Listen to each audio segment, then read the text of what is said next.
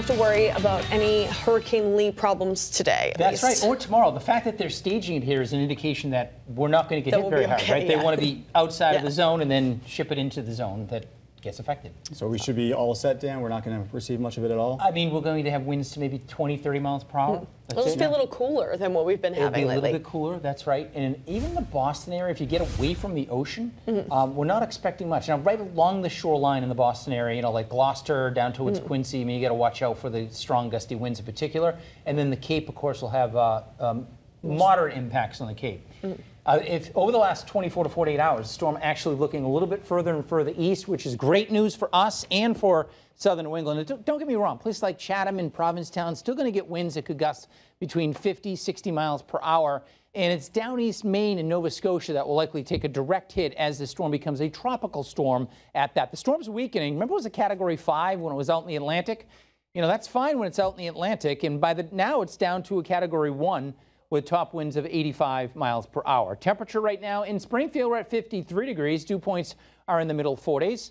And your 24 showing clouds, but notice a little suns as well. So some dim sunshine through the first half of the day. Then we'll go overcast clouds tonight. But one thing you don't see here is green or much of any green at all. And of course, that would indicate rainfall. And we might get a morning sprinkle or a spot shower around sunrise tomorrow. Then really that is about it. Top winds now of Hurricane Lee, 85 miles per hour. It is starting to accelerate, moving off to the north. It's going to pass way to the east of the Cape. But as these storms weaken, they also widen, become bigger in size. So it's still throwing plenty of cloud cover our way. Uh, this is uh, this afternoon at 5 o'clock, for example.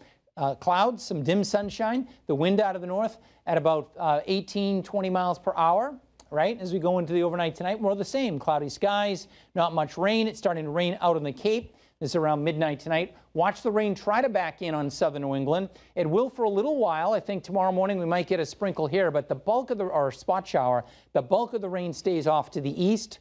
Uh, the Boston area will pick up some showers tomorrow morning, but by about mid-morning into the early afternoon, already the system is pushing off to the north. That's when we could have some wind gusts here tomorrow, 25, maybe 35 miles per hour, while out on the Cape, winds will be gusting up over 45 to maybe as strong as 55 miles per hour. This is tomorrow afternoon. The system moving out. That means clouds give way to some sunshine here. Any showers in eastern Mass are pushing offshore, and this storm system heading towards Maine and Nova Scotia at that point.